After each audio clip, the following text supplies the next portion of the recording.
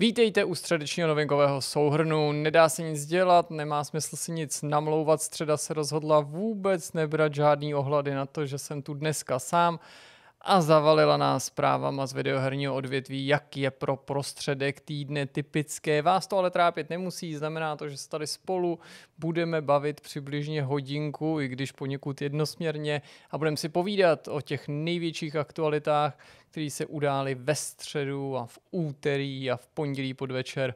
Pojďme na to, je toho hodně.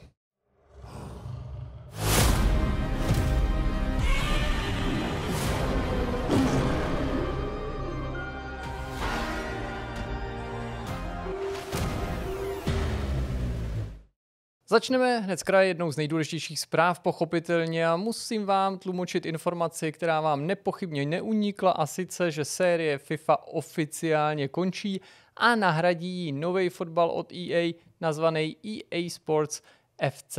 To je téma, kterýmu jste se určitě nevyhnuli, pokud se o videohry zajímáte. My si ho ale probereme víc dohloubky a to nikoli v jedný, ale hned dvou dlouhých po sobě navazujících zprávách.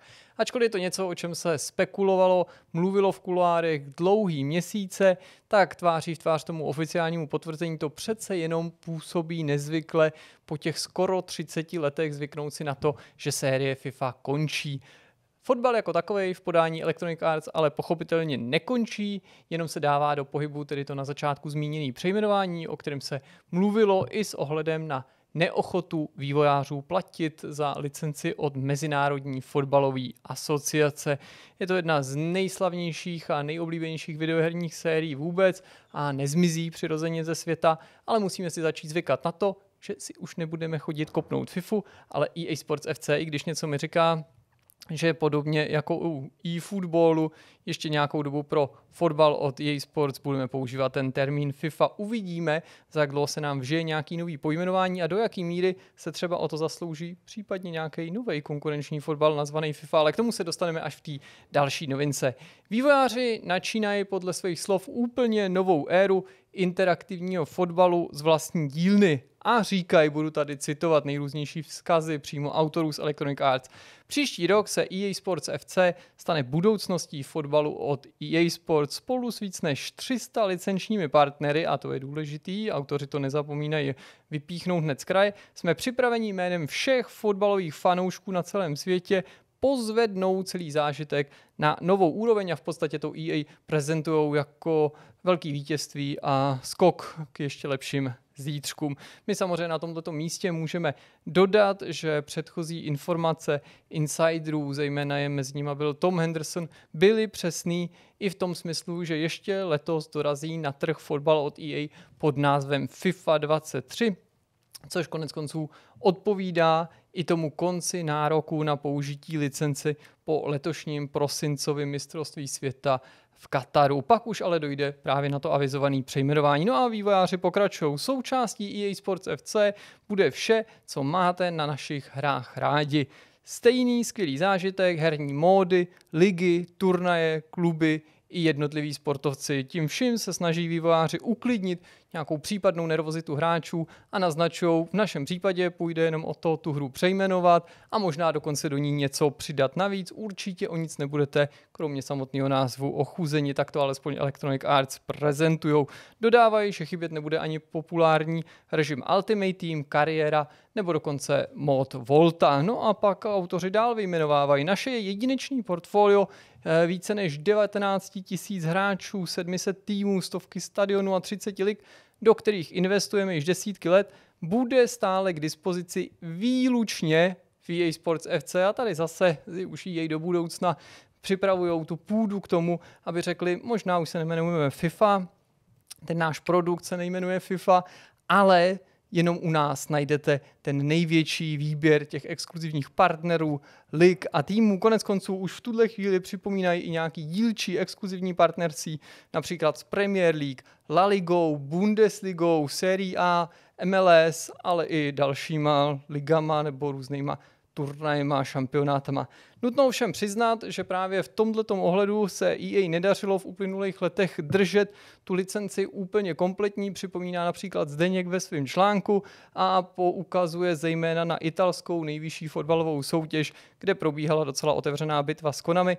Tam možná nebude pokračovat, uvidíme, jak to teďka bude s e-footballem, nakolik Konami na těch licencích ještě bude záležet, nebo zda třeba bude to úsilí soustředit ještě úplně jiným směrem, případně zda se ta bitva o licence, týmy, jména rozhoří třeba s nějakou jinou společností a ten konflikt se přesune někam dál. Výváři v tuhle chvíli licence ale neřeší a snaží se hráčům vysvětlit výhody, který přejmenování série přinese a říkají, nová nezávislá platforma přinese nové příležitosti inovovat, tvořit a rozvíjet se. Jde uh, o mnohem víc než jen o změnu loga, jako by snad tým naznačoval, že dosud je měla FIFA, tedy teď ne nutně jenom ten název, nejen ta image, ale uh, ta samotná asociace nějak svazovat a něco jim nedovolit. To je něco, co už se v minulosti v této souvislosti naznačovalo, i když nikdo to úplně nerozkryl otevřeně. No a autoři slibují skutečné změny, jako by jim snad dosud někdo bránil. I o nich se ale v minulosti už v nějakých náznacích mluvilo a prozvukovalo, že Mezinárodní fotbalová asociace chtěla například omezit ten vějíř věcí, který by společnost Electronic Arts mohla využít nebo mohla eventuálně do té hry dát. Naproti tomu ale výváři série FIFA toužili po prohloubení obsahu, rozšíření třeba turnajů, zahrnutí většího množství partnerství, který mohli potenciálně stát proti zájmům asociace. Tady je nutný potrhnout, že se pohybujeme na takovým tenkým lidi dohadů, možných spekulací a úvah nejrůznějších lidí, kteří se okolo FIFI pohybují. No a taky třeba mohlo jít i o napojení a zapojení nějakých dalších potenciálně kontroverzních prvků. Namátkou můžeme si zaspekulovat třeba nějaký NFTčka, to je pochopitelně něco, co se třeba EA eh, e mohlo zamlouvat a na druhé straně FIFA co by ta asociace to vítat nemusela.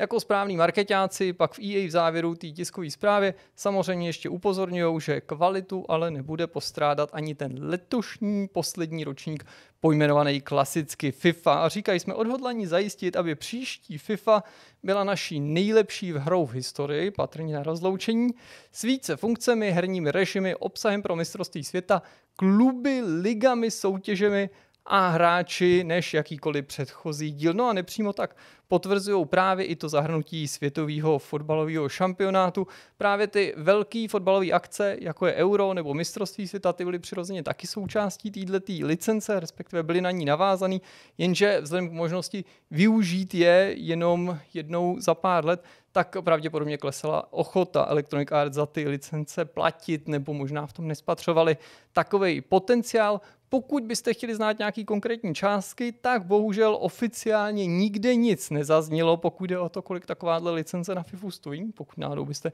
uvažovali, že byste si třeba ji pořídili pro sebe, ale rozsáhlý článek listu New York Times z října loňského roku přinesl určitý relevantní vhled do této problematiky. Jeho autoři nastínili, eh, že museli EA platit Mezinárodní fotbalové asociace, asociaci 150 milionů dolarů ročně s tím, že se platilo v čtyřletých cyklech a budoucí platba na roky 2023 až 2026 měla být údajně mnohem vyšší a překonat až jednu miliardu dolarů, což je samozřejmě gigantický balík peněz.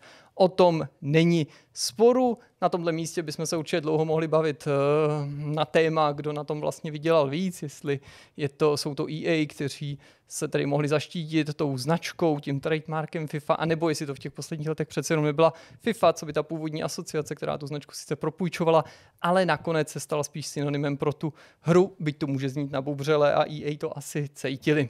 Je každopádně pozoruhodný, jak přesně ale všechny ty dosavadní odhady a spekulace eh, odpovídaly tomu, co se teďka naplňuje. A to nejen, že dojde k přejmenování, ale taky ten samotný název EA Sports FC, ten zazněl už před koncem loňského roku, tedy jsme si tady taky o tom povídali, spoustě z vás se to nezdálo, protože jste tak jako hloupý název, proč by si vybrali zrovna tenhle, tak prostě na to došlo. No a konec konců Tom Henderson eh, nějaký čas zpátky mluvil i o tom, že ještě letos bychom se fotbalu od EA měli dočkat právě v podání FIFA 23 naposled. Konec konců tenhle ten renomovaný insider lákal taky na to mistrovství světa mužů i žen, vylepšenou technologii Hypermotion A nebo třeba crossplay, který se teďka bude testovat v aktuálním ročníku FIFA 22, ale všeobecně se má za to, že samozřejmě jde o test, který má posloužit už tomu budoucímu ročníku či ročníkům a že by se v plný míře měl projevit až ve FIFA 23 a pak v těch nadcházejících letech u toho nově pojmenovaného fotbalu od EA. Dobrá, tak tady bychom sice mohli skončit a říci, to bylo pro FIFU momentálně všechno, víc toho nemáme, jenže my jsme v zásadě si tlumočili jenom stanovisko společnosti Electronic Arts a její uh, nějaký komentáře k té situaci. Ale musíme říct i to B, a sice, že FIFA sice končí, ale vlastně nekončí. A nekončí nejen v podání EA, kteří budou pokračovat v této sérii, která prvně vyšla v roce 1993, ale samotná FIFA, tedy myslím tím teďka ta asociace, má zájem pokračovat v této fotbalové sérii, ale samozřejmě už s jiným partnerem, případně partnery a naznačuje to poměrně otevřeně. Electronic Arts totiž nejsou jediným subjektem, kterého se ta kauza týká, to je už z toho patrný. Sví k tomu tedy chtěla říct i Mezinárodní federace fotbalových asociací, a poměrně rychle reagovala právě na to potvrzení konce téměř 30 letý spolupráce s Electronic Arts, stejně jako její tvrdí, že vlastně nic nekončí ani pro ně a her bude ve výsledku mnohem víc než dosud a tím zřejmě nenaráží na to, že my se taky přidáme teďka s nějakou další FIFou, ale že vlastně těch her od FIFA může být víc. Začneme výrokem prezidenta federace Gianniniho Infantina, který říká, a to je tedy komentář, který vzbudil velký zájem hráčů, v některých případech dokonce i takový povytažený obočí a možná i nějaký ten úsměv. On každopádně prohlásil eh, Infantino. Mohu vás ujistit, že jen skutečná a autentická hra se jménem FIFA bude pro hráče a fotbalové fanoušky tou nejlepší. Název FIFA označuje jediný globální originální titul. FIFA 23, FIFA 24, FIFA 25, FIFA 26 a tak dále. Konstantou je název FIFA, který přetrvá navždy a zůstane nejlepší. To je takový typický manažerský nabubřelý skoro až prohlášení, každopádně silný slova, zejména s ohledem na to, že ono není moc kam sáhnout na první pohled, pokud jde o hledání nějakého vhodného rivala pro EA, pro nějakého konkurenta, který by se tohoto úkolu chopil. Můžeme si položit otázku, zda by třeba tím novým partnerem FIFI, co by asociace, nemohly být eh, japonský Konami se svým e-footballem, že by to třeba znova přejmenovali, nebo jestli to nebude některý z těch eh, nových chystaných fotbalů, kterých eh, bylo hned několik v posledních měsících a letech, o kterých jsme tady mluvili, že se nám tady jako rodí nějaký potenciální nový zajímavý hry, ale jestli by si hned troufli jejich autoři nechat se ověnčit touhletou licencí a do přímého sporu s EA, otázka, nebo do takového jako konfliktu. A nebo se můžou nabízet třeba 2K Sports. A to je téma, který jsme tady zmiňovali opakovaně. Take-Two, co by uh, mateřská společnost 2K Sports na to byla opakovaně dotazována, jestli by neměli zájem o tuhle tu licenci, spekulovali, respektive mluvili jsme o těch spekulacích, že by údajně už měli v Sumo Digital vznikat nějaký sportovní hry s licencí Lega, jednou z nich, že by měl být fotbal, tak možná kromě toho Lego fotbalu, že by tady byl nějaký skutečný fotbal. To samozřejmě nevíme. FIFA tvrdí v každém případě, že už v tuhle chvíli probíhají jednání s vedoucími herními vydavateli, mediálními společnostmi a investoři, kteří by se měli podílet na plnohodnotné simulaci fotbalu pro rok 2024 a následující. Zajímavější by určitě mohlo být, kdyby do toho palíku těch potenciálních kandidátů, který já jsem tady jmenoval, vstoupil ještě někdo úplně jiný, ale uvidíme. FIFA to nicméně podle svých prohlášení myslí skutečně vážně a je na nejvýš pravděpodobný, že se v roce 2023 ještě bude v tomhle ohledu něco dít. Federace navíc nechce skončit u jediné hry, jenom u toho jediného rivala pro uh, fotbal od EA, která by převzala tu štafetu a pokračovala v tom každoročním vydávání FIFA přípravě má být mnohem víc titulů, které můžou být zaměřený na jednotlivý šampionáty a nemusí jít navíc nutně vždycky o třeba tu zmíněnou simulaci. Ve vývoji má být hned několik takových her. Řada z nich má údajně dorazit už ve třetím čtvrtletí tohoto roku. Tady FIFA v náznacích mluví o titulech, který doprovodí mistrovství světa mužů v Kataru a mistrovství světa žen v Austrálii a na Novém Zélandu, přičemž by se mělo jednat o jakýsi interaktivní zážitky pro fanoušky na celém světě. Tady si samozřejmě musíme nutně položit otázku, co tím může FIFA myslet. Zdeněk naznačuje, že by to mohlo být takový jako marketingový, líbivý označení pro nějakou doprovodnou hru, která ale zase může být let's chims, třeba jako nějaký kopání penalt na mobilu, na druhé straně třeba i nějaký management světového šampionátu z pohledu organizátorů. Nevíme, tady bychom zase museli jenom uh, se omezit na ty spekulace. Žádný detaily v tuhle chvíli FIFA v tomto smyslu uh, nepřenáší a asi nemá smysl jako pouštět uh, úzdu fantazii příliš volně na špacír.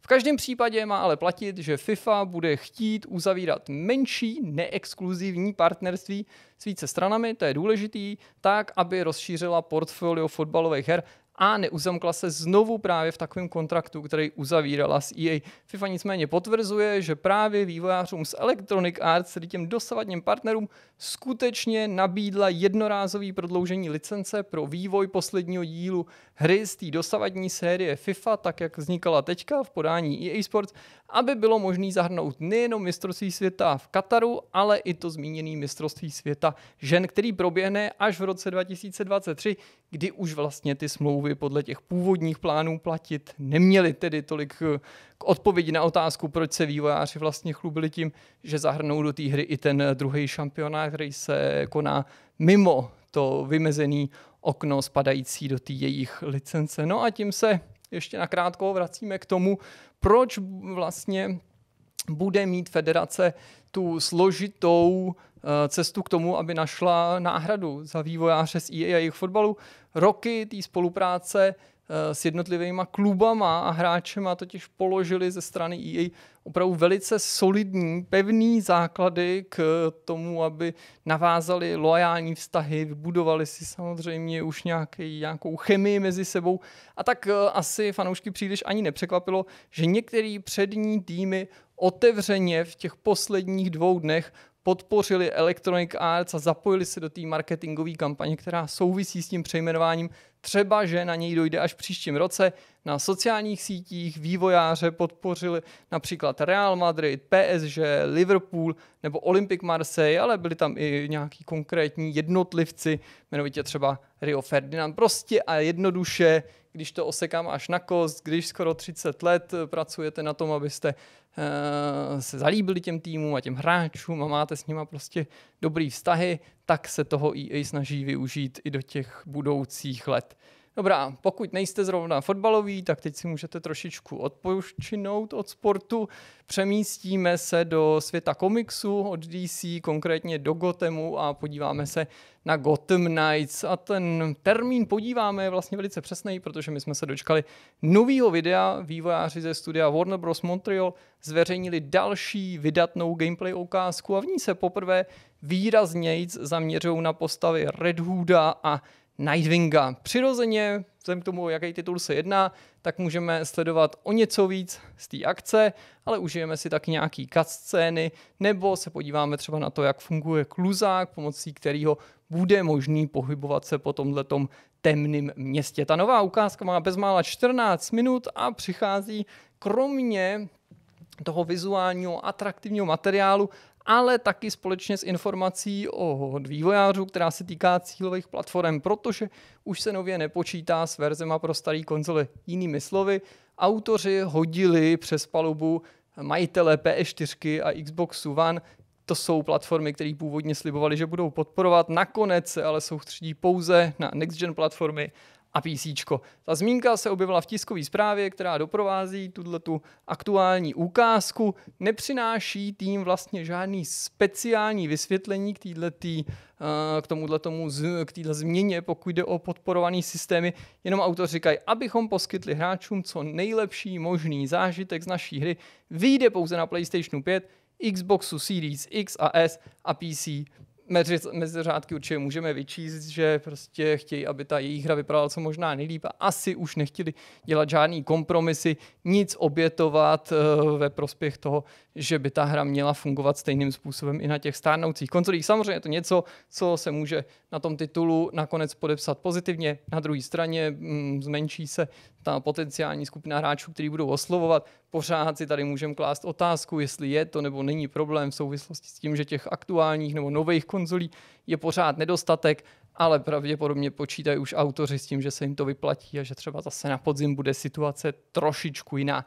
Teď se ale vraťme k tomu videu a trošku podrobněji si rozeberme, co tam vlastně můžeme vidět. Jak už jsem před chviličkou říkal, ta ukázka se tentokrát výrazně zaměřuje na Nightwinga a Red Hooda. Právě Nightwingem začneme z toho gameplaye je patrný, že Nightwing je akrobat, jak se k této postavě patří a sluší. Spolíhá se proto na celou řadu pohybů a skoků. Ten jeho bojový styl to pochopitelně reflektuje. Boj v jeho podání, jak říká Zdeněk ve svý novince, připomíná taky si smrtící tanec.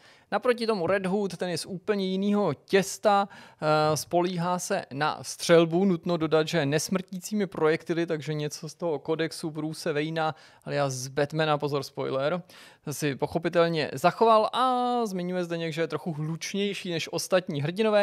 Co se týče pohybu po Gotemu, tak eh, kromě toho Nightwingového kluzáku Red Hood na tom není vlastně o nic hůř, může využívat speciální skoky, při kterých eh, se spolíhá na jakousi mystickou energii, případně může usednout na motorku. Výváři taky ukázali, jakým způsobem bude zpracovaná mapa. Vlastně mám pocit, že to možná nebylo úplně poprvé, že už nějaký střípek jsme zahlídli, nebo jak funguje Pong pro vylepšování či vytváření vlastní výstroje. Každý kousek oblečení, stejně jako zbraně, má svý základní atributy a vlastnosti a ty lze pochopitelně nejrůznějším způsobem upravovat, mixovat a nacházet taky prostřednictvím jejich použití a jejich kombinování ideální styl, který bude vyhovovat právě vám. Samotní autoři říkají, že jde o to vybrat si ten svůj vlastní styl, který se nám bude nejvíc líbit. Lidi z Warner Bros. Games Montreal, vývojáři, pak představili taky vyšetřování, to je další nepostradatelná součást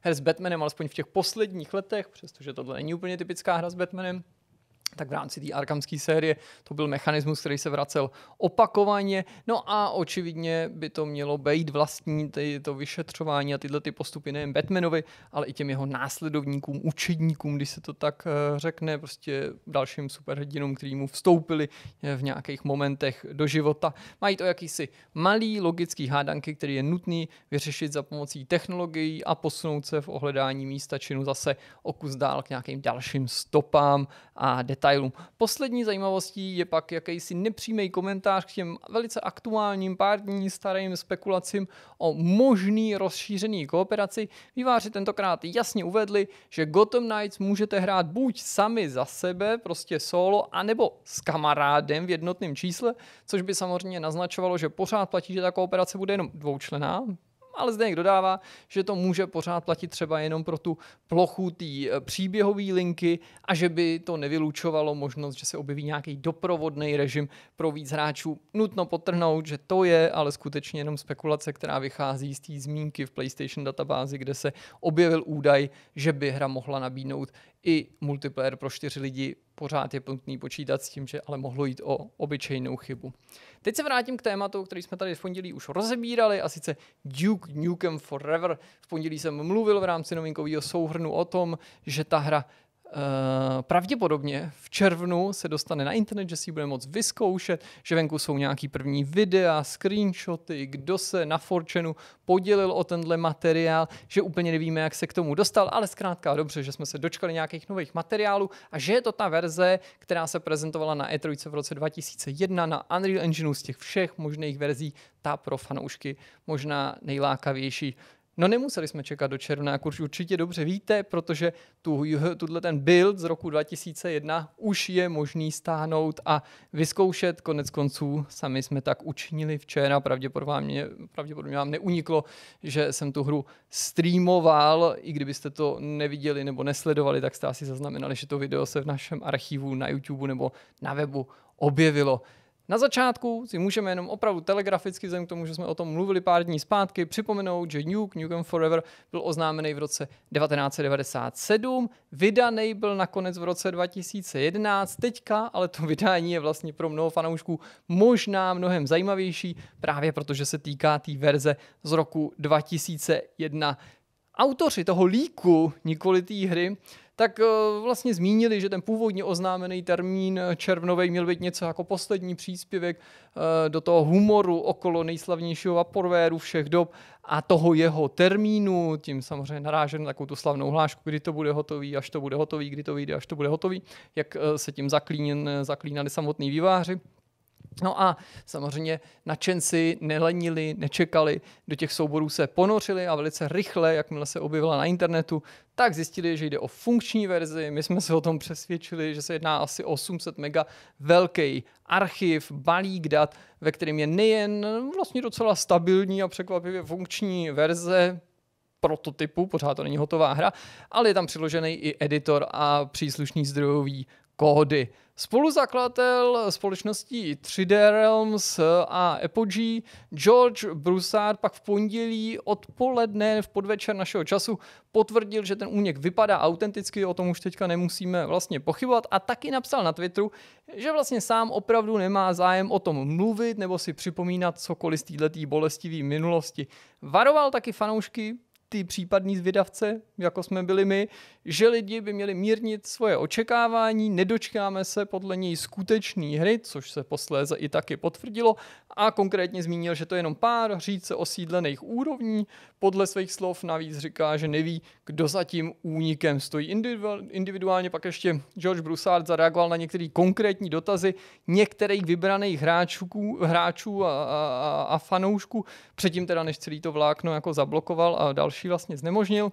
Eh, zmínil, že většinu toho obsahu tohohle toho buildu tvoří nějaký malý útržky levelů, testy a nějaký oblasti, které byly vytvořeny za účelem prezentace toho E3 dema. Hra podle ní sice obsahuje zbraně, to je pravda, ale nemá gameplay ani dotažený nepřátele v pravém slova smyslu.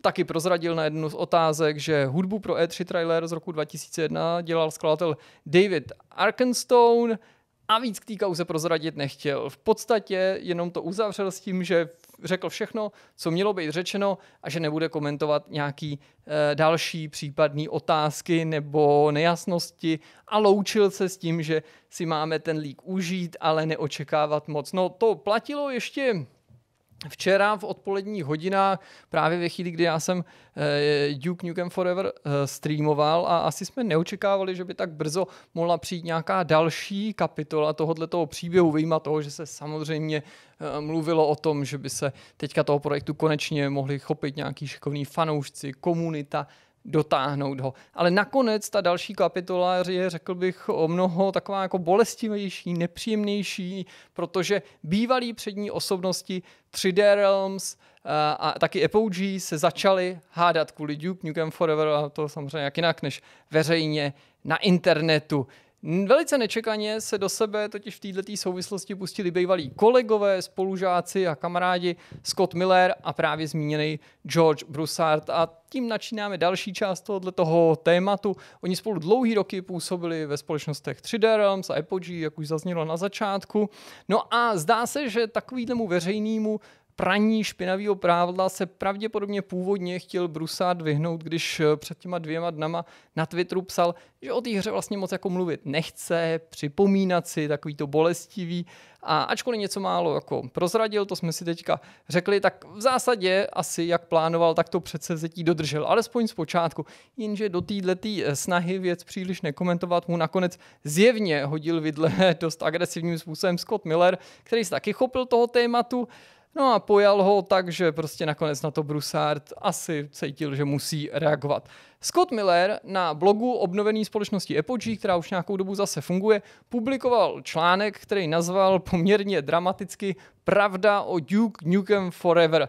Miller samozřejmě taky reaguje jednak na únik té hratelné verze. Na začátku se ještě s Brusárdem, ačkoliv ho tedy nejmenuje, shoduje v některých bodech, třeba, že lidi nemají očekávat skutečnou hratelnost, jinak, že budou zklamaný.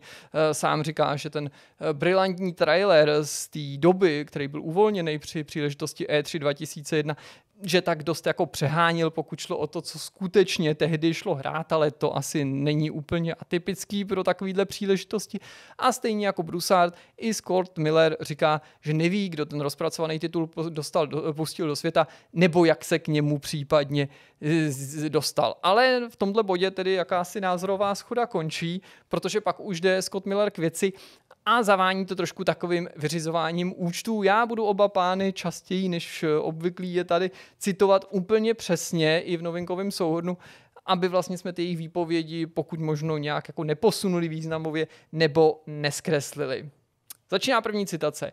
Duke Nukem Forever je hra, která zničila 3D Realms. To říká uh, Scott Miller s tím, že pak byla tato firma prodána investorovi v Dánsku, kde vlastně do dneška sídlí. A pokračuje. I když naše hry jako Max Payne a Prey držely společnost nad vodou, Duke Nukem Forever byl pro firmu neustálou dírou na peníze a nakonec zničil původní 3D Realms, je Apogee, říká Scott Miller.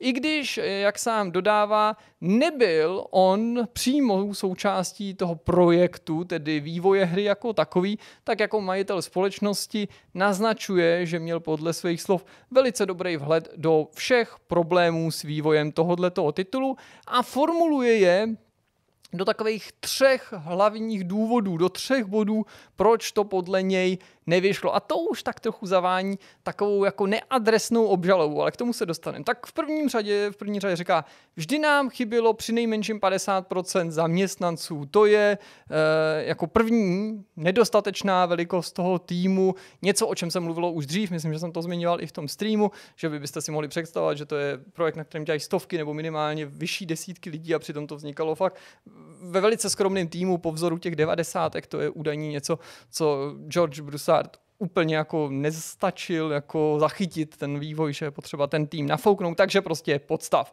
Neměli taky podle něj dobrý plán vývoje, nebo ho při nejmenším Scott Miller, jak říká, nikdy neviděl. To už je taková teda jako docela jedovatá slina, ehm, opravdu takové jako nepřímý obvinění eh, svého kolegy, že prostě to vlastně jako neměl pořádně zmanagovaný a naplánovaný. No a jako třetí problém pak jmenuje pomalej vývoj a říká, několikrát se projekt rebootoval a když se objevila nějaká nová zajímavá technologie, vždycky tu byla snaha využít to nejlepší, ale způsobilo to obrovský odklady znovu a znovu. My přitom víme, že za tím střídáním technologie stálo znovu George Broussard, ačkoliv ho Scott Miller konkrétně nemenuje. Byl to Broussard, který si původně vybral Quake 2 engine, to bylo už v roce 1997, krátce po E3 v roce 98, kde se ta hra prezentovala, ale oznámil, že přesedlají na nový Unreal Engine, který má být vhodnější. Přitom původně už na konci roku 1998 ta hra měla výjít. Znovu se pak ukázala veřejnosti pořádně až o tři roky později, právě na E3 v roce 2001 tím videem slavným z té verze, která je vlastně teďka k dispozici, která se stala rozbuškou pro všechny ty aktuální zprávy, které vám tu teďka tlumočím. Ale budu pokračovat tím blogovým příspěvkem Scotta Millera. V roce 2004 si podle svých slov Miller uvědomil, že Duke Nukem Forever má obrovský problémy a celý projekt chtěl, jak on říká, předat zkušenějšímu studiu. Konkrétně Miller jmenuje Digital Extremes. To je tým, který se podílel na Unrealu, Unreal Tournamentu, vytvořil vlastní akci Dark Sector, pak pokračování pro akci Darkness, taky komiksová záležitost, když už dneska o nich byla řeč.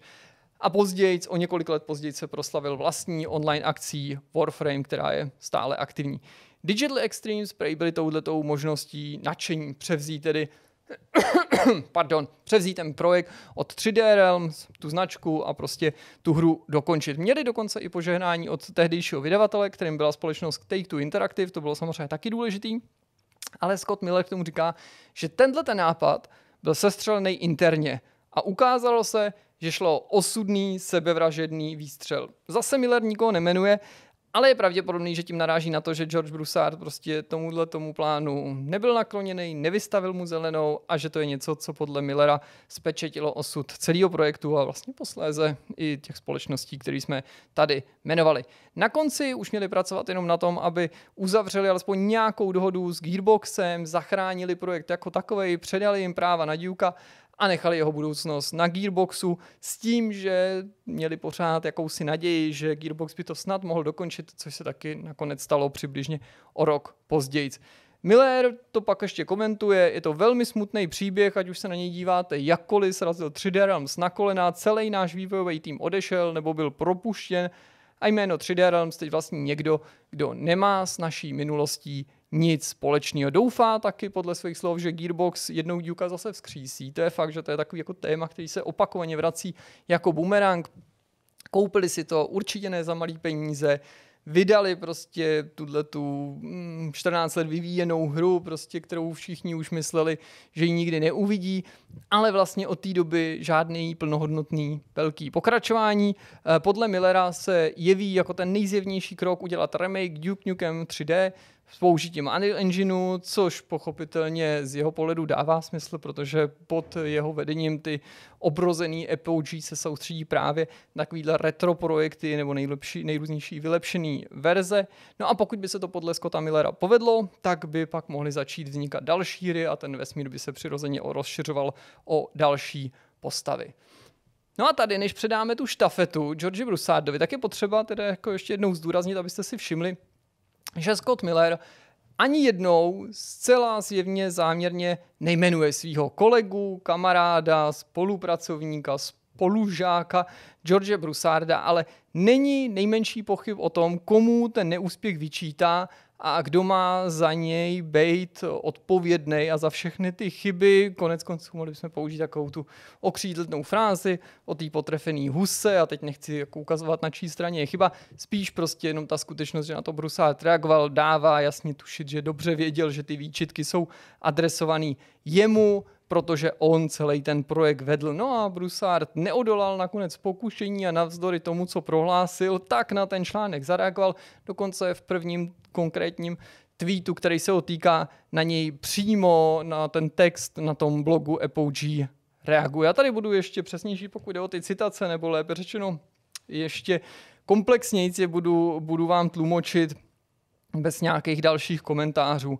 George Broussard píše, Scott je bezradný narcista, jeho činy doopravdy vedly k žalobám Gearboxu, kvůli kterým jsme přišli o 3D Realms a značku Duke. Nesmysly, které vypouští, jsou ohromující. Vzhledem k hloubce jeho manipulace a narcisismu se nelze čemu divit. Alespoň jsem měl tu slušnost, že jsem si nechal své názory pro sebe. To je v podstatě nejpřesnější možný, bych řekl, překlad toho prvního příspěvku. No a pak pokračoval ještě v jednom tweetu. Mám toho na jazyku ještě mnohem víc, protože ho znám už od střední školy v 70. letech. Můžete vidět, jak využívá příležitosti, aby se pokusil vypadat lépe tím, že hodí bývalého přítele, více než 40 let v závorce, a obchodního partnera pod autobus. Rozhodně člověk, se kterým byste chtěli dělat biznis. Je to takový jako citlivý, skoro až to jako zavání nějakým bulvárem, ale věřte, že mi to nedělá nějakou velkou radost to tlumočit, je to prostě téma, který teďka hodně rezonuje v souvislosti s tím, co se okolo Duka dělo v těch předchozích dnech.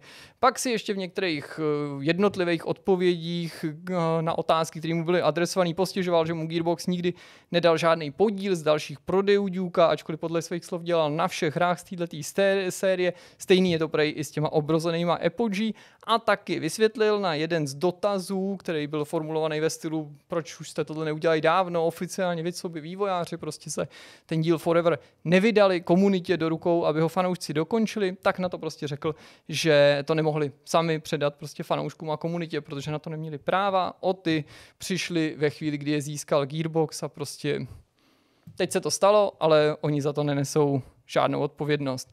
Tak eh, tolik k Dukeovi. A teďka přejdeme vlastně k tématu, který za normálních okolností bychom možná považovali za takový jako složitější, náročnější finanční výsledky. Vybrali jsme si společnosti Sony a Nintendo, jejichž uh, úspěchy, případné neúspěchy budeme komentovat, ale mám pocit vlastně, že podle po té náloži s, s FIFou a, a teďka ještě s 3D Realms to bude spíš odpočinkový téma. Tak začneme třeba u společnosti Sony. Finanční ředitel společnosti Sony Hiroki Totoki loni v srpnu předpokládal a předvídal i na základě zásob, tehdejších zásob a předpokládaných zásob polovodičových čipů, že na konci finančního období 2021, který z pohledu Sony skončilo letos 31. března, bude mezi hráči celkem 22,6 milionů prodaných kusů konzole PlayStation 5. Reálný stav je nakonec o něco nižší, i když myslím, že není nutný v pravém slova smyslu mluvit o nějakém neúspěchu. Sony dokázala prodat eh, jenom 11,5 milionů kusů na místo očekávaných 14,8 milionů, takže celkový číslo teďka činí 19,3 milionů prodaných PS5. Počet předplatitelů služby PlayStation Plus to je samozřejmě zajímavý z důvodu té blížící se transformaci. Na konci finančního roku vykazuje číslo 47,4 milionů. 47,4 milionů předplatitelů. To je velice mírný, ale přesto pokles oproti předchozímu čtvrtletí a tady je patrný, že doskází k určitý stagnaci třeba s celým tím předchozím rokem, kdy bylo na konci 47,6 milionů registrovaných uživatelů a navíc to vypadalo, že to pořád stoupá a stoupat bude nějaký podíl na tom určitě mohla mít i pandemie koronaviru, to, že byli lidi víc doma, byli ochotnější takové věci předplácet, nebo možná na druhé straně teďka to váhání nebo neochota prodlužovat může souviset s tím, že lidi čekají, co se prostě z té služby v budoucnu vybine a pak to může třeba zase začít růst. Sony přitom znova zopakovala, pokud jde o tu plánovanou transformaci, že kdyby vydávali vlastní exkluzivní first party hry na day one do tohohle toho rozšířeného PlayStation Plus programu eh, v rámci takového toho prémiového týru, že to je něco, co by těm hrám v dlouhodobém horizontu ublížilo, eh, i financování a možnosti prostě těch investic. Žádná nová informace, ale znovu v této souvislosti zazněla. Teď se můžeme přesunout k tomu druhému japonskému gigantu, to znamená společnosti Nintendo, který naopak otevřeně mluví o nejlepším výsledku ve smyslu prodávaného softwaru v historii, tedy prodávaných videoher, tedy v první řadě pochopitelně. Společnost eh, zaznamenala v uplynulém finančním roce 39 eh, titulů, který překonali milion, alespoň milion prodaných kusů, z nich 26 přitom vydalo samo Nintendo, což jenom potvrzuje takovou tu klasickou tradici, že na konzolích od Nintendo je nakonec vždycky nejúspěšnější samotný Nintendo, i když tady musím říct 26 z 39 že ten rozdíl, pokud jde o ty milionový uh, prodeje, vlastně není tak propastný, jak by očekával člověk někdy, nebo jak možná někdy v minulosti byl. Zbývajících 13 připadá tedy na ty ostatní vydavatele, jak jste si už mohli dopočítat. Nejúspěšnější hrou byl titul Pokémon Brilliant Diamond and Shining Pearl. Tam má na kontě tato hra 14,65 milionů prodaných kusů, obrovského úspěchu, ale dosáhl i Pokémon Legends Arceus. Ten vyšel na konci letošního ledna a už se ho prodalo 12,64 milionů kusů. Celkem pak se prodalo za těch uplynulých 12 měsíců 35 milionů her pod značkou Pokémon nebo z této série, takže mimořádný úspěch, navíc ty čísla naznačují, že spin-off, kterým byl Pokémon Legends, se vlastně ujal a že by se skutečně mohl dočkat nějakého pokračování, tedy ujal i komerčně, nejen z hlediska kritiky nebo nějakého zájmu. Dařilo se ale i dalším hrám, třeba Kirby Forgotten Land, nedávno recenzovaný, ten má 2,1 milionů prodaných kusů. Metroid Dread, ten dosáhl skoro na 3 milionů prodaných kusů, 2,9 milionů, s tím, že se vlastně stal vůbec nejúspěšnějším dílem v historii této série a celkem Nintendo vykazuje prodej 235 milionů kusů her nebo nějakého softwaru, čímž o necelý 2% pak překonává výsledky z předcházejícího roku. Pokud byste se naopak chtěli zahledět trochu do budoucnosti, mám tady aspoň takový jako drobný střípek a sice, že s další bajonetou pořád Nintendo počítá na rok 2022, tak snad se mu to podaří splnit. Co se týče prodeje hardwareu, ani tady si nemá Nintendo na co stěžovat, i když i tam byly do budoucna, nebo, nebo ty předchozí, starší prognózy mířící do budoucnosti mm, takový jako zdrženlivý, ne neoptimistický, spíš taky se odvolávali samozřejmě na tu čipovou krizi.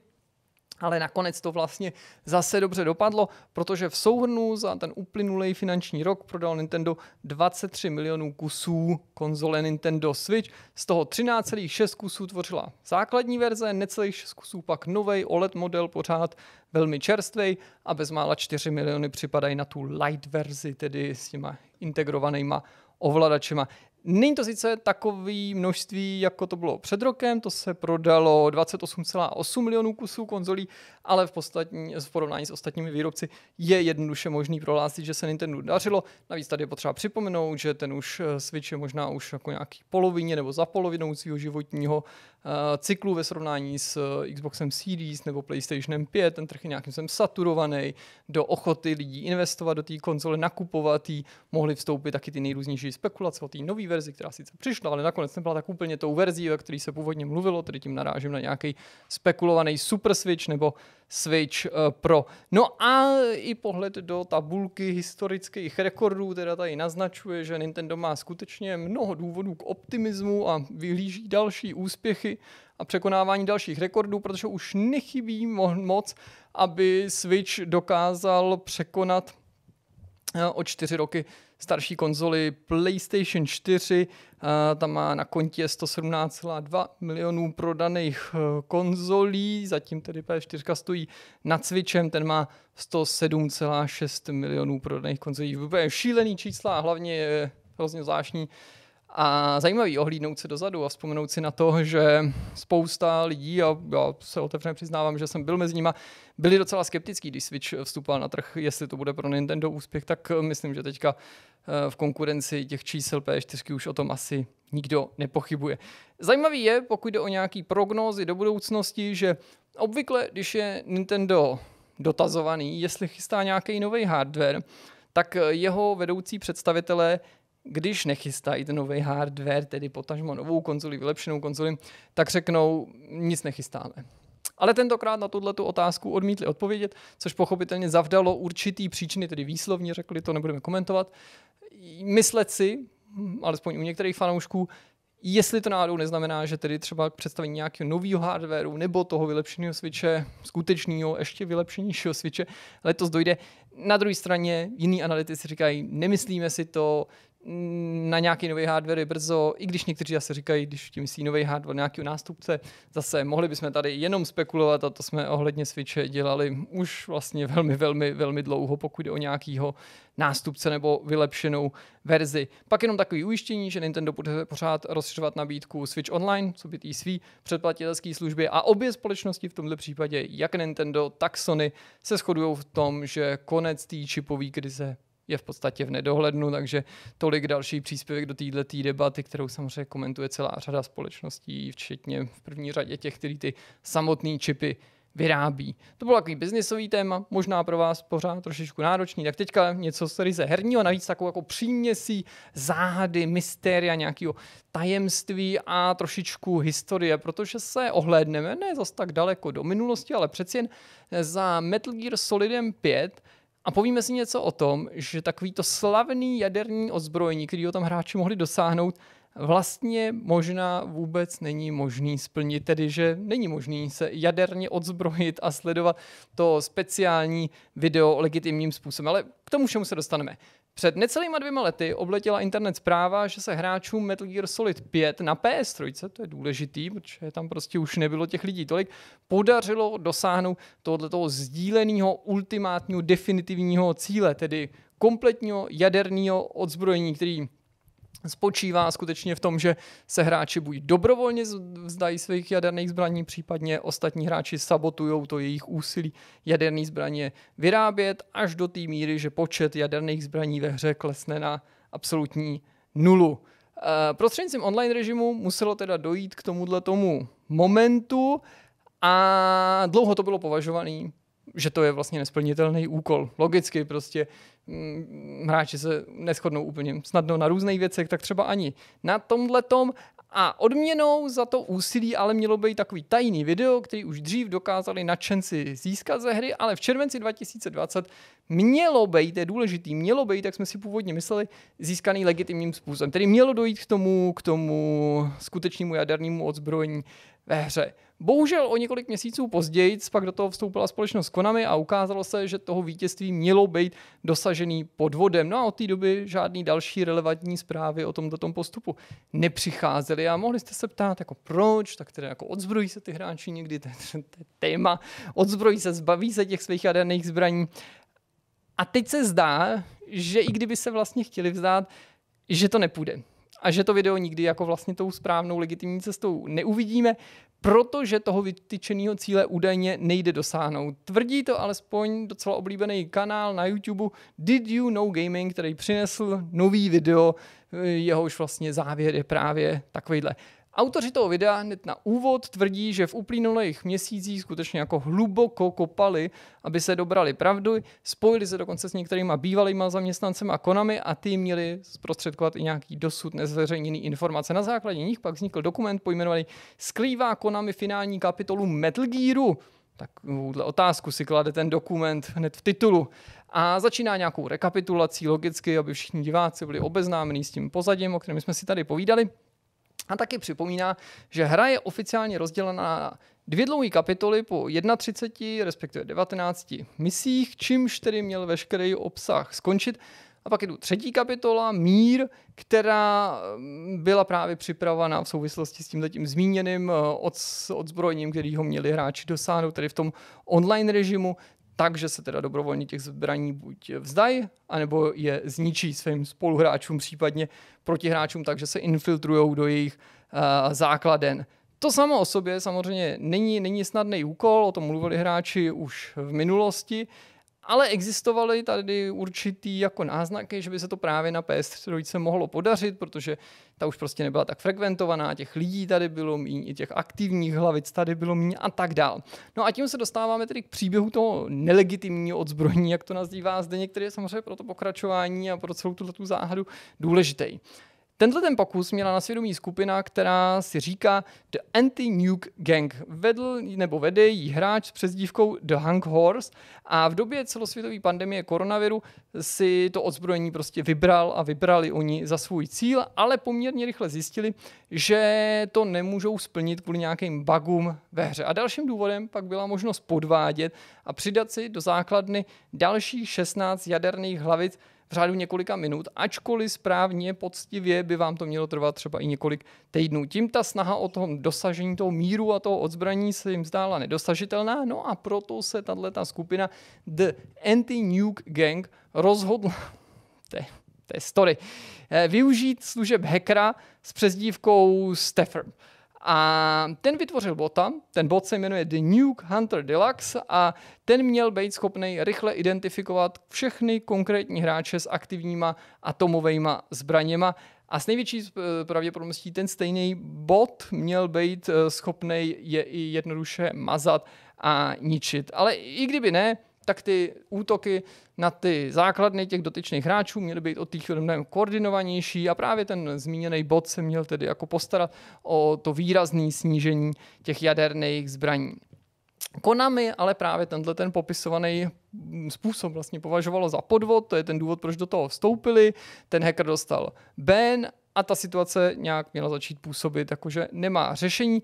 Podstatný je ale doplnit, že za celým tím příběhem leží něco víc, alespoň podle toho dokumentu, protože The Hunk Horse a ty jeho Anti-Nuke Gang zjistili, že ve hře se nachází údajně několik takzvaných fantomových jaderných zbraní. Ty jsou na serveru, započítávají se do toho souhrný statistiky, tedy promlouvají do toho, že jednoduše jaderné zbraně jsou pořád aktivní, nebylo dosažený toho míru, toho odzbrojení, ale přitom nemají být fyzicky umístěný v žádný základně a tudíž nejsou dosažitelný. Vývojáři o tomto problému měli být informovaní ze strany této skupiny, o kterým mluvím, ale nijak na tu výzvu neměli reagovat, což tedy mělo vést jenom k nějakým dalším spekulacím a dohadům, zda vlastně se vůbec dopředu počítalo s tím, že toho míru bude někdy dosaženo.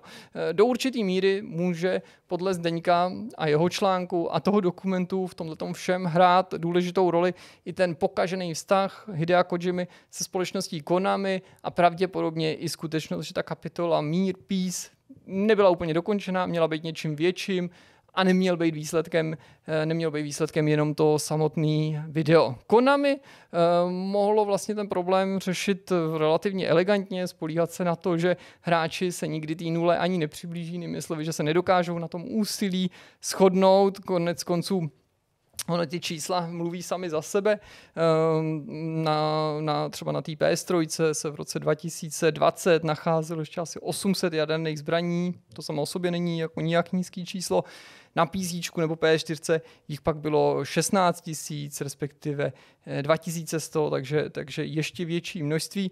A navíc tedy podotýkají hráči, že se tady objevily i skupiny, jak to tak bývá, který si vlastně vytyčili ten cíl zcela opačný, tedy vytvořit, vytvářet ty jaderné zbraně tak, aby to odzbrojení nebylo dosaženo a toho konce se tedy komunita nikdy nedobrala. To jsou, to jsou prostě, prostě dramata, to vůbec ani nevymyslíte. No, Naposledy se k tomuhle tomu problému nebo k tomuhle tomu tématu toho jaderného odzbrojení vyjádřil sám Hideo Kojima eh, v únoru letošního roku s chodou okolností eh, v jednom z retweetů nějakého všeobecného apelu na odzbrojení v Metal Gear Solidu 5 eh, pak potvrdil a reagoval na něj, že skutečně šlo o svýho druhu nějaký sociální experiment. A bohužel se zdá, že s ohledem na ten jako rozkol, a ten náznak, se kterým přichází tenhle ten dokument, tedy, že tam existují nějaký ty fantomové zbraně, zbraně, které server počítá, počítají se do té celkové statistiky, ale nejde je zničit, je otázka, jestli vlastně někdy se dočkáme toho titulku. Došlo k jadernému odzbrojení ve hře Metal Gear Solid 5, tak jak Hideo Kojima zamýšlel. Teďka se přesuneme o mm, kus dál, budeme mluvit o lehčím tématu, výrazně takovým jako aktuálním ryze ale vlastně to bude taky tak trochu o zbraních, tentokrát létajících, protože Top Gun pro Microsoft Flight Simulator uh, vyjde těsně před uh, filmem Top Gun Maverick, který ten obsah inspirovaný Top Gunem, to je netrpělivě a dlouho očekávaný rozšíření, který samozřejmě doprovodí do kin pokračování Top Gunu s podtitulem Maverick. A to rozšíření, to DLCčko bezplatný, je konečně skoro tady. Ta expanze se opakovaně odkládala, tak aby dorazila právě společně s premiérou té novinky.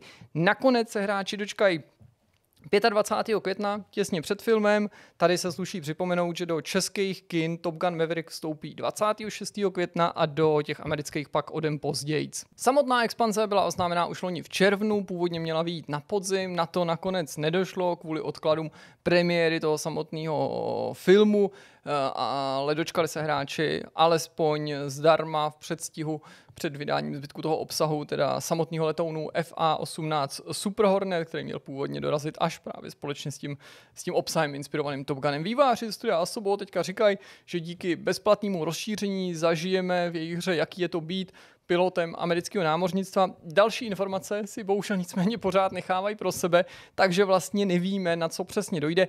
Je ale skoro jistý, že letecký souboje to nebudou, na ty si musíme nechat zajít chuť, protože žádnou akci tradičně Microsoft Flight Simulator nenabízí. Hra by se ale mohla oficiálně rozšířit například o starty a přistání na letadlový lodi, ta je konec konců ta letadlová loď důležitým aktérem té první krátké upoutávky. To je něco, co bylo až dosud možné jenom díky modifikacím, nebo by mohlo dojít na nějaký jako speciální manévrovací disciplíny inspirovaný tím novým filmem, případně tím původním, prostě něco, co má po vzoru Top Gunu, myšlenou té školy, tak jako trochu napodobit ty dogfighty.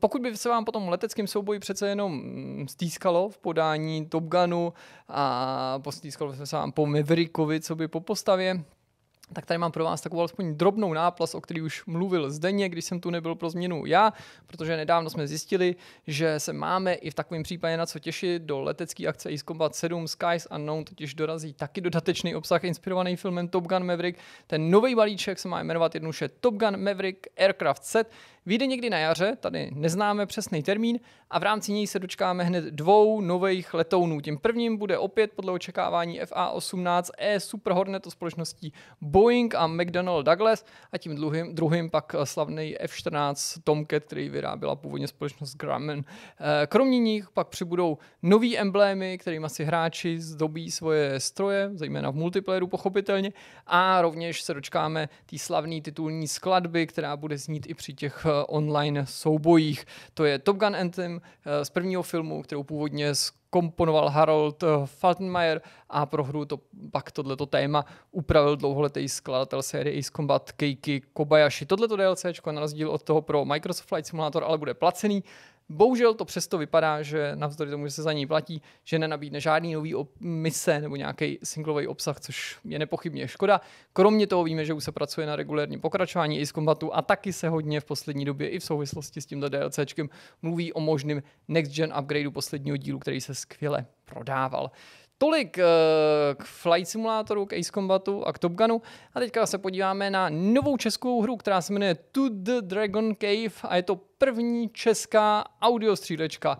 Hra vhodná i pro nevědomí, na který pracuje duo vývojářů ze studia Kikriki Games, kteří obohacují českou herní scénu o takovýhle zajímavý počin eh, do o prostě um, zvukovou hru nebo audiohru, která ohýbá žánr FPS. Jak už název napovídá, ve hře se vydáme na dobrodružnou výpravu za tím titulním drakem, kterou ale bude potřeba tedy podniknout poslepu. Hráči se můžou vydat na tohleto dobrodružství už 15. května a to prostřednictvím svých mobilních zařízení, protože titul vyjde exkluzivně, tedy výhradně na Androidu a iOS, ne teda v rámci nějaký dohodnutý exkluzivity, prostě momentálně nemíří na další platformy platformy. Průchod hrou pak podlíhá pochopitelně dobrýmu sluchu a taky pozornému vnímání všech zvuků okolo vás. Absence v podstatě veškeré vizuální stránky, ale nemá činit hru o nic chudší nebo snad míň zábavnou. Ostatně poslechněme si, jak to komentují samotní autoři. Překvapilo nás, že stříle do nepřátel bez pomoci zraku bavilo i naše vidící kamarády to prohlásila autorka hry, jedna ze spoluautorek, je, nebo spoluautorů Jana Kuklová, která je sama nevidomá. Přitom v průběhu vývoje jsme se proto rozhodli do hry přidat také grafické rozhraní, aby mohli Eh, pardon, aby hru mohli ovládat i ti, kteří nevyužívají odečítač obrazovky, čím jsme vlastně nakonec přístupnili hru pro vidící uživatele. Ukázalo se totiž, že to, co je pro nevidomého v blind friendly hře často samozřejmostí, se vidícímu hráči musí podrobněji vysvětlit, tak to aspoň autorka komentuje. Menu je sice ještě klasický, tak jako hráči znají z jiných titulů, s možností tedy předčítat navíc ten text pro nevědomí, ale mm, jde vlastně o to jediný, Eh, co se tedy jako může rozcházet, pak zbytek té hry už je eh, schodný pro vidící i nevidící hráče. Zvuk samozřejmě není ale to jediný, co hra nabízí. Příběh nevidomí hlavní hrdinky nás ve víc než 20 úrovních postupně zavede do devíti různých prostředí ve světě Laudonie. Podíváme se například do země věčného sněhu nebo navštívíme křišťálový palác. Během putování do dračí jeskyně nebudeme sami, společnost nám bude dělat mluvící holubička, trochu nestandardně. Počítat ale musíme i s 11 druhy nepřátel, mezi kterými nechybí třeba trolové, kostlivci, anebo, pozor, děsivé krvelačné ovce, které dokáží potrápit a prověřit sluchové vnímání všech hráčů. E, aby toho nebylo málo, tak cestu nám skříží i pět zákeřných bosů. Přes ně potřeba se prosekat, prostřílet za pomoci vylepšování zbraní. V závěru hry se pak zpřístupní taky režim nekonečné bitvy a tady bude mm, pochopitelně opět nutný používat eh, sluchátka, tak aby vám nic z těch zvukových věmů neuniklo. V tom zmíněném studiu Kikiriki Games ovšem nepracuje jenom Jana, ale taky její manžel Miloš, to je povoláním programátor, který na rozdíl od své manželky vidí, je důležitý, a komentuje to následovně. Nelíbilo se mi, že za, zatímco mě jako vidícímu hráči se nabízí nepřeberné množství videoher, nevědomí lidé jsou v naprosto odlišné situace herních titulů, který které by si mohli zahrát, je na trhu žalostný nedostatek, proto jsme se společně s mojí nevědomou manželkou rozhodli založit Kikiriki Games. Naším přáním je, aby i lidé se zrakovým handicapem měli možnost se odreagovat a pobavit u mobilních her, tolik to alespoň k tomu říká druhý z autorů hry To the Dragon Cave. Společně se pak pustili tedy do vývoje té hry, která by mohla eh, nabídnout nějaký plnohodnotný vyžití i nevědomým, ale současně byla přístupná úplně pro všechny, tedy i pro hráče bez zrakového handicapu. Jak určitě víte, tak je to téma, který nás zajímá, vracíme se k němu opakovaně. Nějaký audio hry vznikají, dokonce i u nás. Mluvili jsme tady třeba o hře Duka 111, mluvili s jejíma autorama. Do her obecně i těch eh, mainstreamových se implementují nejrůznější prvky přístupnosti, jakým zářným příkladem je The Last of Us Part 2, ale bavíme se tady i o dalším českém titulu titulu 1428. Opakovaně se k němu vracíme od Microstudia, Kuby Games, tady pomáhá s těmi prvky přístupnosti náš eh, občasný přispěvatel eh, Lukáš Hosnedl, mimochodem další část toho jeho seriálu o tom, jak to vzniká, je na cestě, abych vás trošku nalákal. Jinak ta nabídka ale pochopitelně pořád velice omezená, což by Kuklovi rádi změnili. Tenhle ten jejich projekt minulý rok vstoupil do programu Laboratoř nadace Vodafone, ten hře pomohl na svět, umožnil hru lokalizovat do dalších jazyků, to je důležitý, tak aby mohla oslovit co největší počet hráčů, eh, protože autoři si přirozeně uvědomují, že angličtina nebo nějaký další cizí jazyky to nemusí být nutně pro každýho. Kromě češtiny, a angličtiny, čeština samozřejmě nechybí, bude proto k dispozici díky tomu lokalizace do polštiny, němčiny, španělštiny. No a jelikož se jedná o audiohru, tak to vyprávění je zprostředkovaný přirozeně dubbingem. Toho českého se zúčastnil herec eh, Jaroslav Tomáš, moderátoři rádia Proglas Daniel Blaške, Aneška Hlávková, Veronika Fráňová a Filip Brindl. Anglickou verzi hry pak namluvili Ann Johnson, Ben Holland, Kristýn eh, Minářová anebo Steven Chalk. Eh, samotná práce na přístupnosti eh, nebyla prý příliš ani náročná, jelikož se na vývoji podíleli i další nevidomí tvůrci, kteří zastali práci a pozice testrů a překladatelů. Na nejdůležitější části celého tohoto projektu, tedy zvuku, pak pracoval další nevidomý vývojář, v tomto případě zvukař Roman Kabelka. A Jana Kuklová to ještě popisuje. Chceme být příkladem dobré praxe a ukázat, že nevědomý člověk dokáže vykonávat stejnou práci jako jeho vidící kolegové. Bohužel toto si zaměstnavatelé stále neuvědomují a proto je v Česku i v Evropě 75% lidí se zrakovým handicapem bez práce, tak alespoň ona popisuje Jana Kuklová rozměr tohoto projektu. Hra bude placená, už teďka ji lze předobjednat na Apple Store za 6 dolarů a ačkoliv hm, té hře pomohly pochopitelně i finance z toho programu té nadace, tak velká část pak té investice byla hrazena z vlastních peněz autorů. Ti už navíc plánují další titul, do kterého by se rádi pustili a v budoucnu tak obohatili nabídku audioher těchto těch speciálních titulů. Držme jim tedy palce a samozřejmě pokud vás ta novinka zaujala, tak uh, směle do toho investujte do ní.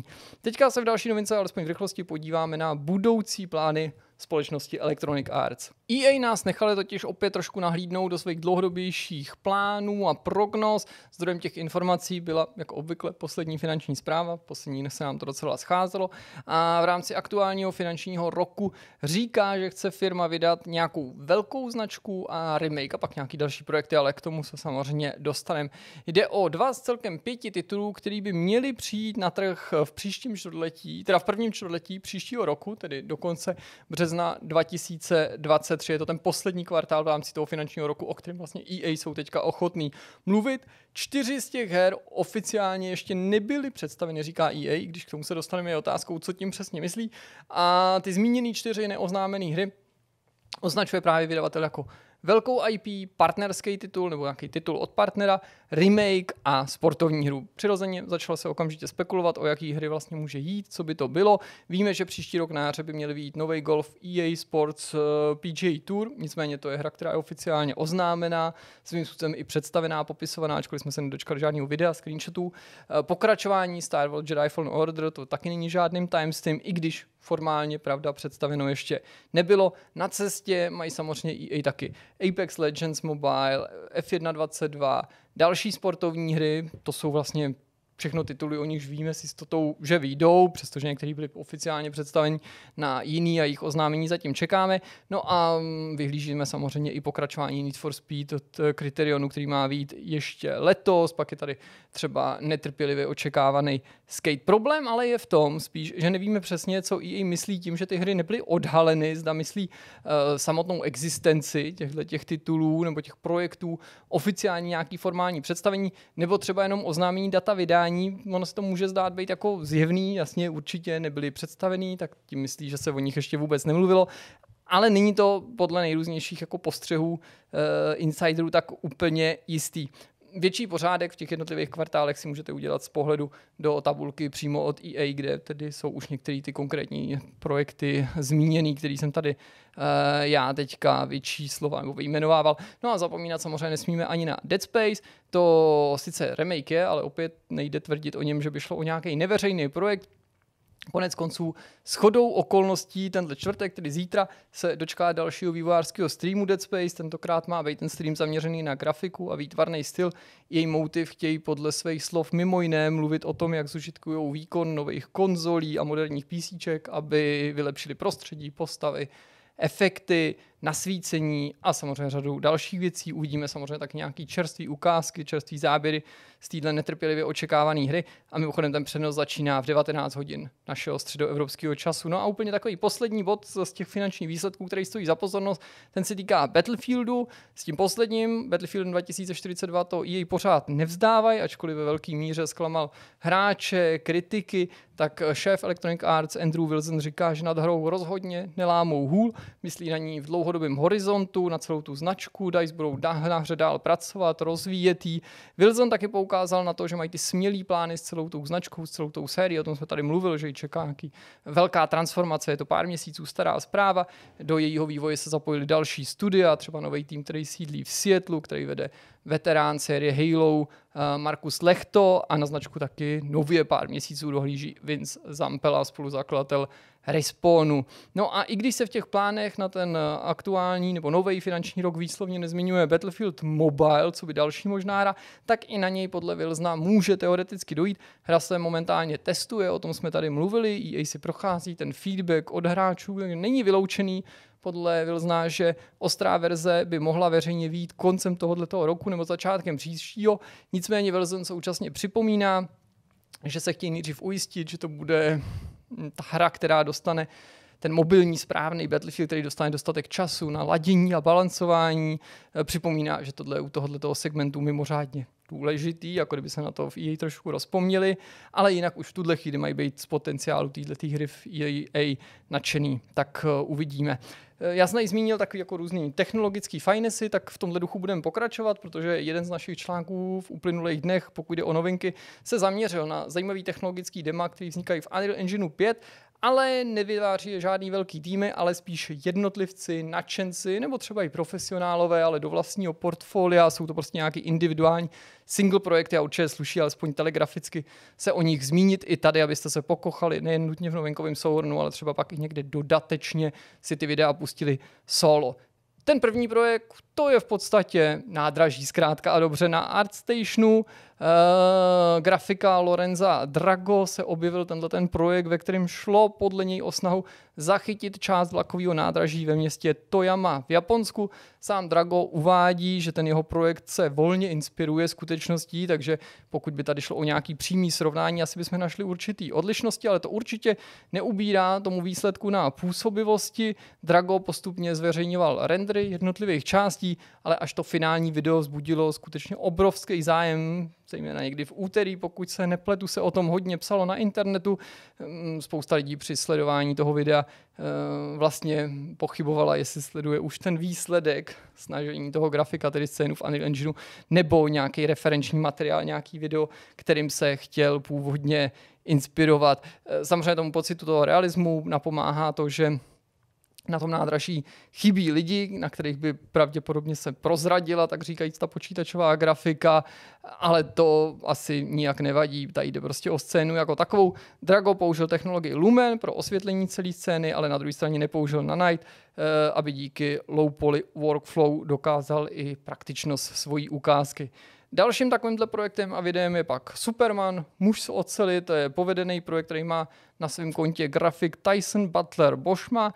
Ten využil volně dostupného projektu City pro Unreal Engine 5, to je takový to město, ve kterém se odehrávala ta ukázka The Matrix Awakens, takový ten jako hratelný prototyp. Zasadil do toho města Supermana, dojem, který ta ukázka vzbuzuje, velmi přesvědčivý zase. Nejde tu nutně jenom o to lítání se Supermanem nad městem, ale prostě pěkný, ačkoliv je to samozřejmě jenom takový jako pokus, ani ne prototyp, prostě jenom snaha předvíst, jak by taková hra se Supermanem na Unreal Engine 5 mohla vypadat. Další scéna, to jsem si tak jako pojmenoval trochu zvláštně, sklep, ale on to skutečně takový jako sklípek je, takže pokud spíš než třeba videohry vás zajímá skutečně jak realisticky ta scéna v Unreal Engine může vypadat, tak by to vás to mohlo oslovit. Podobně jako třeba to zmíněný nádraží. Tady se vydáme do dílny nějakého řezbáře a truhláře, protože tímhle tím prostředím se inspiroval grafik Daniel Martinger, bere nás na výlet do Švédska a pozoruhodný na tomto projektu je, že všechno v té scéně, co vidíte, si vymodeloval sám, nepoužil žádný fotoskeny, vyjma textury na zdi, na který vysí nářadí a podlahy, všechno ostatní má být jeho práce, včetně vytvoření toho finálního videa. Podle svých slov používal Unreal Engine vůbec poprvé, což je naprosto fascinující a chtěl jednoduše zjistit, co tato technologie umí a co dokáže. Dílo pak renderoval v preview verzi Unreal Engine 5 za pomocí path tracingu a v budoucnu bych chtěl pro porovnání přinést ještě verzi s podporou technologie Lumen. Jestli dáváte přece jenom přednost hrám, tak by vás mohl ucít takový teoretický remake portálu na Unreal Engine 5, to, 5 to, si, to je téma, který si vybral grafik Alfred Bidow, eh, snažil se vylepšit tuhle tu slavnou hru, respektive její úplně první, nebo nultou, chcete-li úroveň, eh, celý level vytvořil taky od nuly. Každý asset měl přepracovat, opatřit novýma texturama, některý máš v rozlišení 4K. Cílem jeho bylo zjistit, co umí Unreal Engine 5 a čeho samozřejmě on sám je schopný dosáhnout. Pak je tu Batman, další superhrdina, v tomto případě se jedná o jakýsi mock-up hry, takový jako náznak, protože jednou z přednostní Unreal Engine 5 má být možnost dosáhnout dřív nějakých nepředstavitelných výsledků, a to nejen právě ve smyslu technologií, ale taky eh, dostupnosti té technologie, schopnosti rychle iterovat i v rámci malých týmů.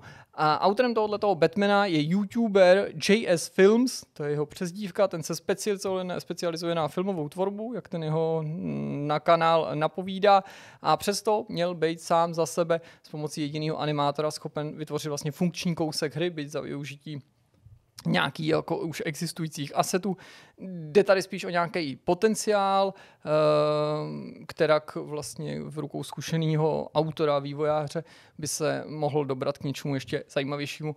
Takových věcí je mnohem víc. Na Unreal Engine 5 se samozřejmě namátkou, když jsme tady zabrousili k tomu Supermanovi a Batmanovi, tak bych mohl jmenovat třeba ještě Spidermana, eh, inspirovaný od tím od Insomniaku, nebo obecně samozřejmě tím, tím komiksovým hrdinou, který se taky může vznášet nad tím uh, městem z Unreal Engine 5. Pojďme na další téma, ve městě zůstaneme, ale podíváme se do Japonska do místní metropole, do Tokia, protože Ghostwire Tokyo se může hypoteticky dočkat DLCčka nebo pokračování. Tato ta ducharská akce od japonského studia Tango Gameworks se nám i přes nějaký výhrady docela dost líbila a klidně bychom si přáli nášup. A že se možná skutečně dočkáme, naznačil teďka v rozhovoru pro japonskou mutaci magazínu IGN Kenji Kimura, který vedl vývoj tohohle toho projektu. Ve hře je dokonce hned několik možností, podle svých slov má nápady na DLCčka pro tu nedávnou hru, ale taky dokonce na plnohodnotný pokračování. Nicméně čeká, až se situace trošičku uklidní. Jedním dechem dodává, že zatím nebylo definitivně nic rozhodnuto a proto nám taky nemůže nic říct. I když oficiálně žádný DLCčka oznámený nejsou, tak to rozhodně není poprvé, kdy se mluví o možnosti rozšířit ten příběh. Tuto eventualitu Kimura naznačil na přímý dotaz už v polovině března v rozhovoru pro magazín VCC FTech tehdy prohlásil, že jako vývojáři chtějí vždycky pokračovat v odvedené práci, vylepšovat ji. Doplnil nicméně taky, že ačkoliv DLC je něco, co chtějí vždycky udělat, tak bude záležet samozřejmě taky na tom úspěchu titulu, jak na něj komunita bude reagovat. Komentoval to slovy, musíme počkat a uvidíme, ale pokud se objeví příležitost, je to něco, po čem bychom chtěli rozhodně skočit. Čísla prodejů, který by nám napověděli, zda můžeme začít se opatrně těšit na neštěstí neznáme. Poslední hra od Tanga sice neudělala doslova jako díru do světa, nebo jako nebyl to úplně grandiozní úspěch, zdálo se.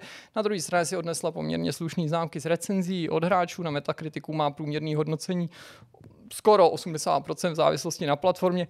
Ještě o Sleep je pak na tom třeba v uživatelském hodnocení na Steamu. No a na tomto místě závěrem se samozřejmě sluší připomenout, že Ghostwire Tokyo vyšlo v březnu, ale zatím je k dispozici jenom na PC a PlayStation 5, na další platformy, tedy zejména na Xbox, by se pak hra mohla podívat nejdřív 12 měsíců od vydání toho originálu po vypršení časové konzolové exkluzivity, kterou uzavřela Sony s vydavatelem, kterým je společnost Bethesda Softworks. Ta byla mm, posléze uh, koupena Microsoftem v rámci Zenimaxu společně se samotnýma vývojářem, ale to samozřejmě na tenhle ten díl už nemělo žádný vliv.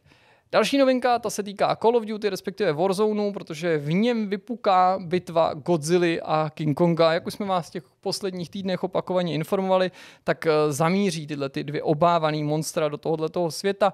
Po prvních spekulacích se začaly objevovat nějaký doprovodný materiály, výváři pak začali otevřeně lákat na to, že nad Kalderou skutečně dojde k tomuto tomu zuřivému boji. No a pokud vás to, to spojení nedráží, nevadí vám, tak už můžete si oddechnout, to čekání je u konce, protože se spouští operace Monarch, která potrvá až do 25. května.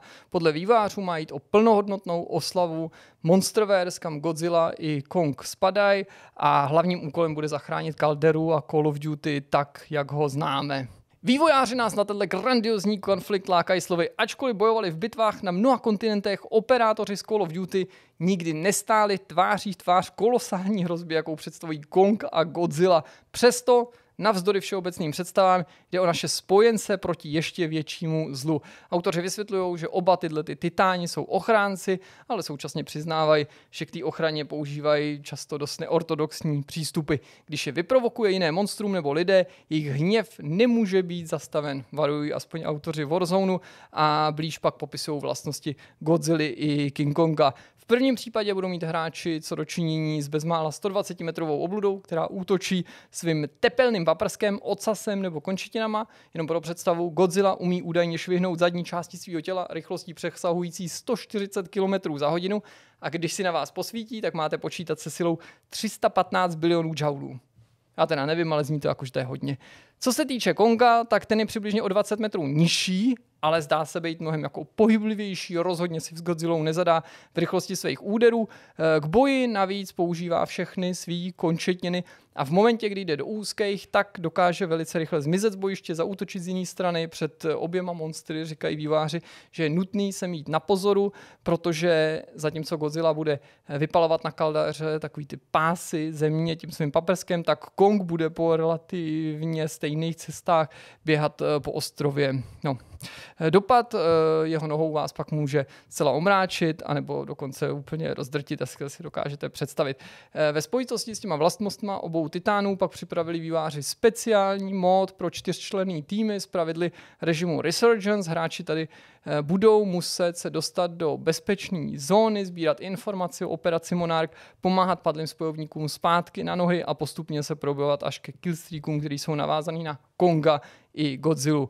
Pozor si budou muset dávat taky na chvíle, kdy jeden či druhý ten titán se rozlobí, i když právě v těchto těch nejnebezpečnějších chvílích bude nutný na monstra rovněž co nejvíc útočit, říkají výváři. A komu se podaří udělat potvorám největší poškození, tak pak získá speciální zařízení se zkratkou Scream. To odemyká možnosti na krátkou chvíli Godzilla či Konga ovládat a využívat jejich síly. Na tenhle mod jsou pochopitelně pak navázané speciální odměny, které lze odemknout eh, prostým hraním či plněním nějakých konkrétních výzev. Spadají mezi ně i speciální skiny pro operátory, který připomínají ty titulní monstra. Nebudete vypadat doslova jako to monstrum, je to jenom jako, že budete tak oblečený, jde o nějakou kosmetickou záležitost. No a tím jsme vyčerpali tu nekonečnou dávku těch velkých novinek, které se mi absolutně vymkly z ruky. Teď už nám zbývá jenom takový telegrafický, krátký na závěr, u kterých jsem naštěstí měl tolik rozumu, že jsem je nerozepsal do ničeho už delšího. To jsou témata, které jsou určitě taky důležité. Možná se k některým z nich ještě v dalších dnech vrátíme, případně v pátečním novinkovém souhrnu. Zkrátka a dobře, americký herec Tony Todd už možná dělá motion capture pro Venoma v rámci pokračování herního Spidermana, naznačil to na svých sociálních sítích. Uživatele konzolí PlayStation 3 a PlayStation Vita překvapil nový update firmwareu, který ale bohužel žádnou novou funkci nepřidává, naopak něco ubírá, a to konkrétně možnost vytvořit si vlastní účet, musíte si ho vytvořit jinde, a taky ubírá něco z možností jeho úprav. Skladatel Daniel Lindholm pak prozradil, že Fei Long, co by postava, se už nemusí vrátit do Street Fighteru, protože vypadá, tato postava je inspirovaná Brucem Leem a rodina Bruce Leeho si nepřeje, aby autoři už podlomným způsobem využívali té podobnosti. No a když už jsme tady měli tolik biznisových zpráv, tak v biznisovém duchu taky skončíme. Zmíním, že Resident Evil Village překonal už 6,1 milionů kopií. Capcom mimochodem i s ohledem na tenhle ten úspěch hlásí rekordní zisky a ty peníze, který uh, utržil, tak slíbil vrazit například do lepších pracovních podmínek. No a když už tady jde o úspěchy, rekordy a miliony, tak na úplný závěr jsem si nechám Elden Ring, který už uh, se chlubí tím, že dosáhl na 13,4 milionů kopií, což je samozřejmě neuvěřitelný, fantastický číslo.